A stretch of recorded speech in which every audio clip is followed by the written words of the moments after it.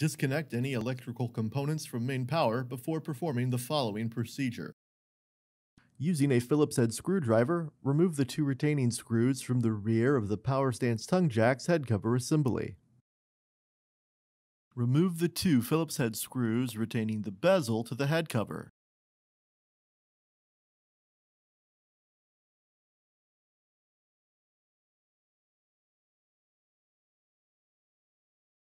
Remove the rubber cap that conceals the manual override access port. Remove the two Phillips head screws contained within.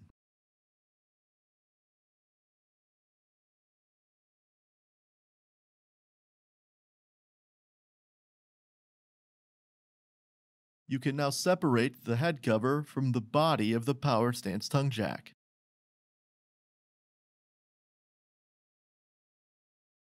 Dry fit the power stance tongue jack's head cover onto the head cover assembly. Using a Phillips head screwdriver, install two retaining screws into the mounting points inside of the manual override access port.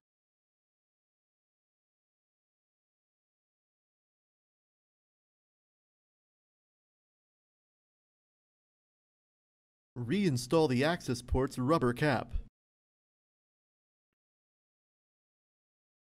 Install two Phillips head bezel retention screws near the LED.